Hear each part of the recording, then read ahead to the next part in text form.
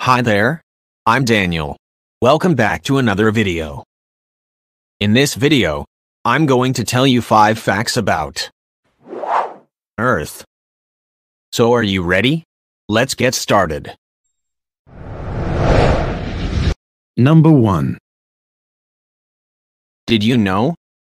Our Earth is the third planet closest to the Sun, which comes after Mercury and Venus. At a distance of about 93 million miles, our Earth is in a distance called Goldilocks zone. This means that it is a habitable place, which is not too hot or not too cold that allows water to remain liquid. So, what would have happened if our Earth is further away, or closer to the Sun? Imagine if the Earth is too far from the Sun. The Sun would be barely visible, and the Earth's ocean and much of its atmosphere would freeze. And if it is too close, the Earth's surface would be so hot which will then cause water to rapidly evaporate into the atmosphere. Which is why Earth is the only planet we know of that supports life.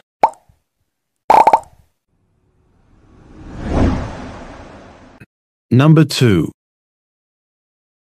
The Earth is a very watery place. Do you know that our planet has been called a blue planet due to the abundant water on its surface, which is about 71% are covered by oceans, and the remaining 29% for land? That's quite a lot of water, isn't it? Plus, since the ocean holds most of the Earth's water, only 3% of the water is fresh, which can be found in ice, glaciers, and rivers, while the remaining 97% of the water is salty that comes from the oceans. Number 3. Have you ever wondered how old the Earth is?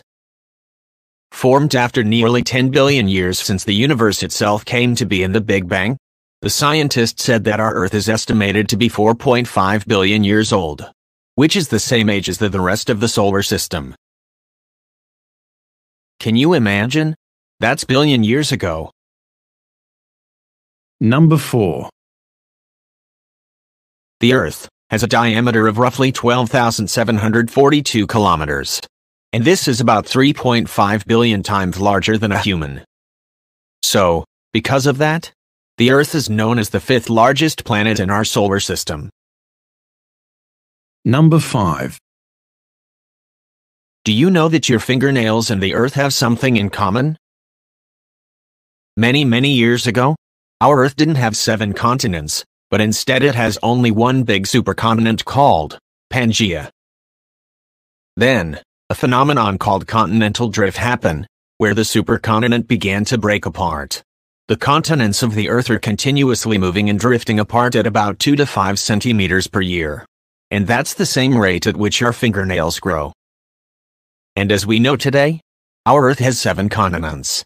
They are North America, South America, Europe, Africa, Antarctica, Australia, and the biggest continent, which is Asia.